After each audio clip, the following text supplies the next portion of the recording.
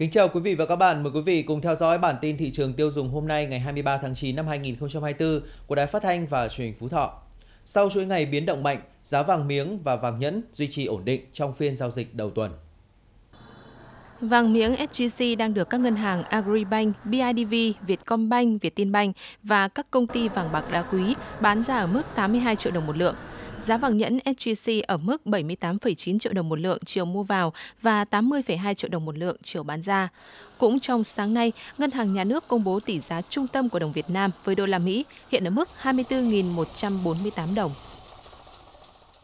Theo Ngân hàng Nhà nước, đã có 32 trên 40 ngân hàng đăng ký các gói tín dụng mới theo chỉ đạo của Thủ tướng Chính phủ.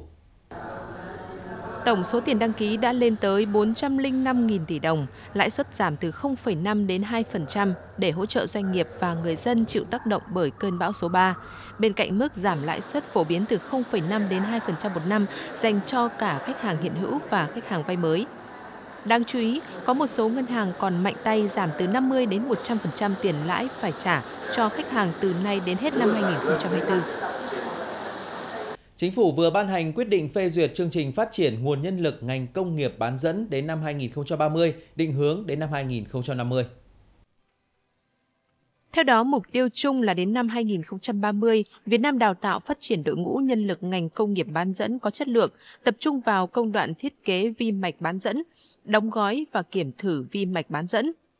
từng bước nắm bắt công nghệ trong công đoạn sản xuất bán dẫn, trong đó đào tạo được ít nhất 50.000 nhân lực có trình độ từ đại học trở lên phục vụ ngành công nghiệp bán dẫn trong tất cả các công đoạn của chuỗi giá trị trong ngành.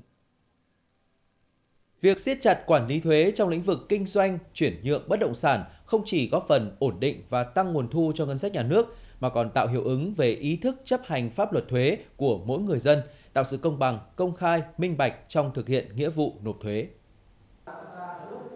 Năm 2024, công tác chống thất thu hoạt động chuyển nhượng bất động sản tiếp tục được các chi cục thuế đẩy mạnh. 6 tháng đầu năm, thu thuế thu nhập từ chuyển nhượng bất động sản, nhận thừa kế và nhận quà tặng là bất động sản ước đạt 72 tỷ đồng, tăng 12 tỷ đồng so với cùng kỳ. Bên cạnh những kết quả khả quan, ngành thuế vẫn phải đối mặt với nhiều khó khăn như chưa có cơ sở dữ liệu về giá giao dịch trên thị trường bất động sản, Việc xây dựng các mức giá của nhà nước chưa tiệm cận với giá thị trường. Đặc biệt, ý thức tự giác thực hiện nghĩa vụ thuế của một bộ phận người dân chưa cao. Để tránh thất thu thuế trong chuyển nhượng bất động sản, Cục Thuế tỉnh đã yêu cầu các tri cục thuế xây dựng cơ sở dữ liệu về giá chuyển nhượng, giá trúng đấu giá bất động sản trên địa bàn, cập nhật thường xuyên theo thời gian để làm cơ sở tham chiếu đấu tranh với người nộp thuế, có các hợp đồng chuyển nhượng có giá chuyển nhượng thấp bất thường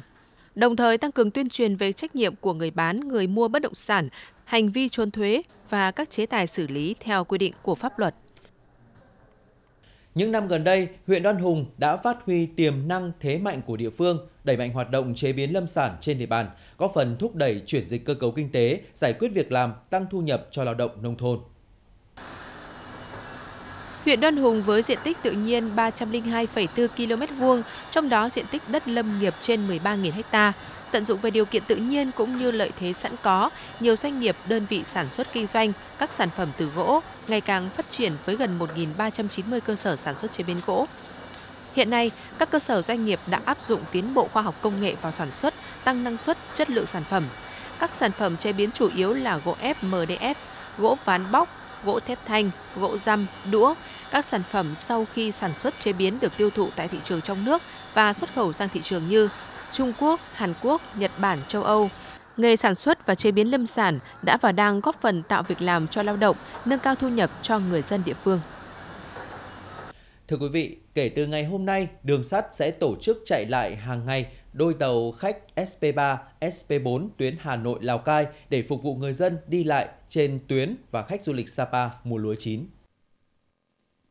Tuy nhiên còn nhiều điểm chạy chậm tốc độ tàu từ 10 đến 15 km h nên đến nay chỉ tàu hàng đã chạy bình thường.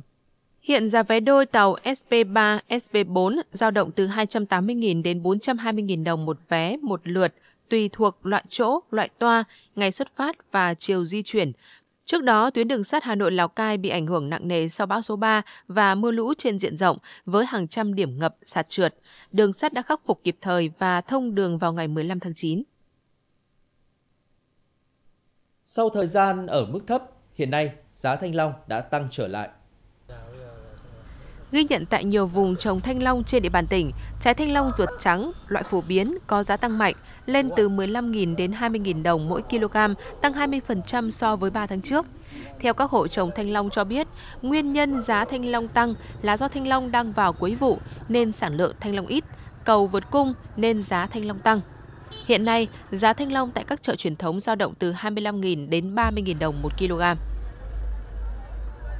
Thưa quý vị và các bạn, giá thức ăn chăn nuôi liên tục ở mức cao, ảnh hưởng lớn tới người chăn nuôi, nhất là những hộ chăn nuôi nhỏ lẻ. Do đó, nhiều người chăn nuôi đang tìm cách giảm chi phí đầu tư. Nuôi lợn rừng lai là một trong những giải pháp để giảm chi phí trong chăn nuôi, nhất là chi phí về thức ăn và thuốc thú y.